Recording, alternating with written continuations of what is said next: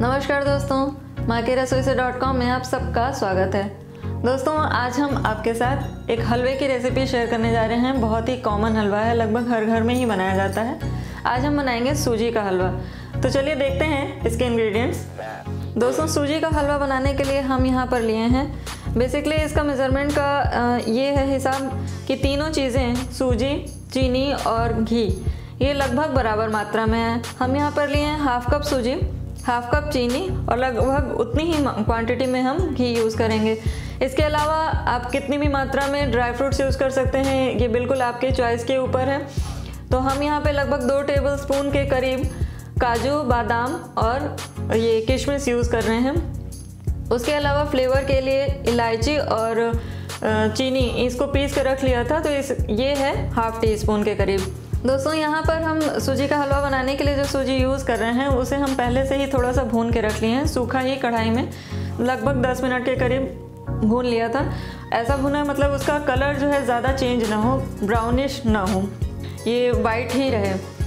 इसको भूनने से फ़ायदा ये होता है, जब भी मार्केट से सूजी आती है तो हम उसे भून के ही रख लेते हैं। इसका फ़ायदा ये होता है कि सूजी में कीड़े नहीं लगते, अगर आप फ्रिज में नहीं रख रहे हैं, बाहर भी रख रहे हैं तो भुनी हुई सूजी है, अगर तो उसमें कीड़े नहीं लगेंगे।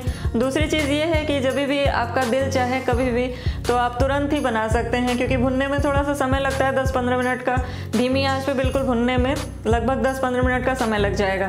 तो जब आप बनाने के लिए तुरंत सोच रहे हैं और आपके पास भुनी हुई सूजी है तो तुरंत ही बन जाएगा हलवा।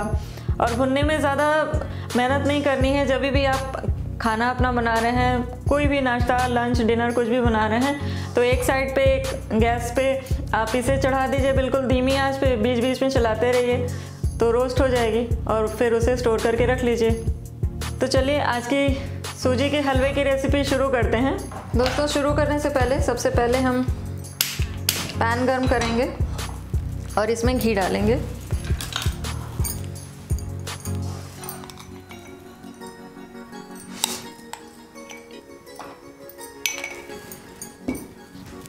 दूसरा पैन हम गर्म करते हैं। इसमें हम चाशनी बनाएँगे। जितनी सूजी हमने ली है, लगभग हाफ़ कप हम लिए हैं तो लगभग डेढ़ कप के करीब हम पानी डालेंगे। जितनी सूजी है, उसका तीन गुना पानी डालेंगे।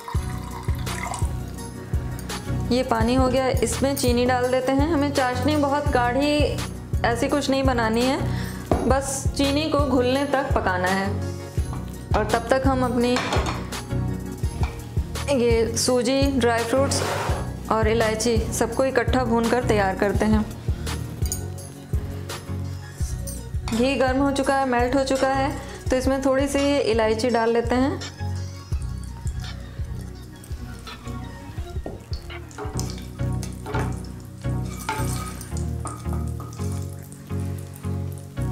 सूजी डालें। सूजी तो हमारी भुनी हुई है बहुत अच्छे तरीके से।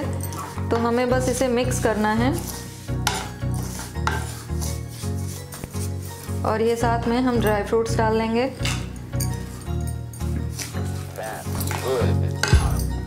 आज धीमी रखें। थोड़ी देर हम दो मिनट के करीब इसे भुनेंगे और तब तक चाशनी को भी चलाते रहेंगे। बस चीनी मेल्ट मेल्ट हो जाए, फिर हम इसे हलवे में मिला लेंगे। जब तक चीनी मेल्ट हो रही है, हम इसे भून लेते हैं।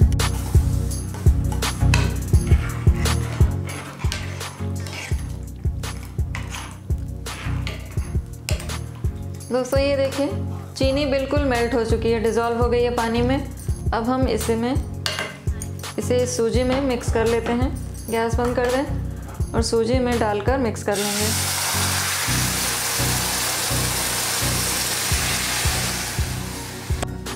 इसे डाल के अच्छे तरीके से मिक्स करें।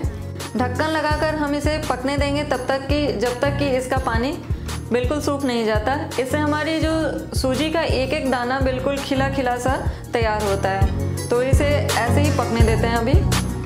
हलवे का पानी सूखने को है तो ज़रा हम एक बार चेक कर लेते हैं इसे। इसे एक बार मिक्स करके, फिर से दो मिनट के लिए हम ढक देंगे। देखिए। इसका एक एक दाना फूल गया है और खिला खिला सा तैयार हुआ है। बस हम इसे एक मिनट के करीब और ढक्कन लगा के पकाएँगे, फिर हमारा सूजी का हलवा तैयार है, बिल्कुल। एक मिनट हो गए हैं। गैस हम बंद कर लेंगे। ये देखिए। हलवा तैयार हो गया है। इतना बढ़िया हलवा बना है। इसे एक बार फिर से मिक्स करें। और हम इसे सर्विंग प्लेट में निकाल लेते हैं।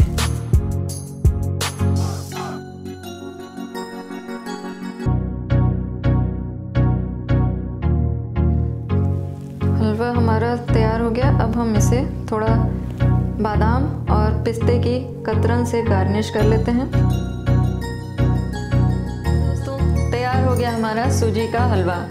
दोस्तों, आपने भी ज़रूर सूजी का हलवा बनाया होगा, क्योंकि बहुत ही कॉमन है। हर घर में ही बनाई जाती है। कोई भी खुशी का मौका हो, कुछ भी अच्छा मीठा खाने का मन करे तो सूजी का हलवा फटाफट बन जाता है। और अगर सूजी पहले से भून कर रखी हुई है तो और भी जल्दी बन जाता है। पर फिर भी आप मेरी ये रेसिपी ट्राई करिएगा। कुछ डिफरेंट लगेगा आपको। ट्राई करिए और अपने सुझाव और फीडबैक हमारे साथ शेयर करिए। दोस्तों, अगर आपको पसंद आए तो प्लीज़ लाइक करें और अपने फ्रेंड्स रिलेटिव सभी जानने वालों के साथ इस रेसिपी को ज़्यादा से ज़्यादा शेयर करें। दोस्तों, अगर अभी तक आपने मेरा चैनल सब्सक्राइब नहीं किया है तो प्लीज़ सब्सक्राइब करिए और देखते रहिए माँ की डॉट कॉम मिलते हैं नेक्स्ट वीडियो में, तब तक के लिए टेक केयर